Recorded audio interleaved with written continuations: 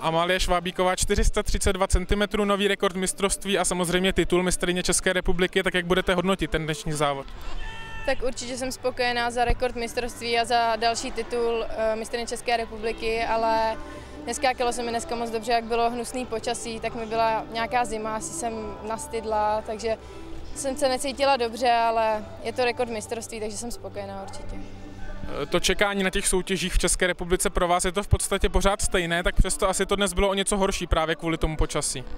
Jo, tak já už jsem na to jakoby zvykla, ale to se nedá nic dělat, prostě je to soutěž a prostě si hold počkám. No. no to nic neovlivní na tom, jak, jak se cítím nebo jaký výkon předvedu. E, takže počítám, že to nejdůležitější je, že si odvážíte z Julisky ten titul mistrně České republiky navíc v tom rekordu. Určitě, určitě to je to, to no. E, co chybělo případně na té další výšce?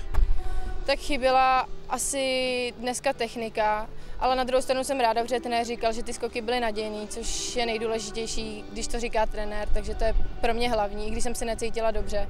Tak důležitý je, že na to podle trenéra mám, tak snad to tam ještě padne. Eh, jak teď bude vypadat vaše další atletická příprava? Tak určitě teď s trenérem trošku přitrénujeme a jinak mě čeká druhý kolo extraligy v Ostravě a potom už odlítám na mistrovství světa do Tampere. Děkuji moc a gratulace. Děkuji.